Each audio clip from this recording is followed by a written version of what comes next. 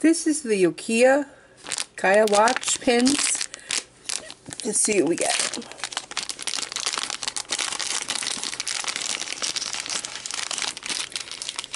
And we got this guy. I don't know anything about Yokai Watch, so if you know who this is, you can put in the comments. I never saw the show. I'm not into anime, so this just came in a box of toys. So, oh, doesn't even say on the back who he is. That's what, this is level 5, so, okay.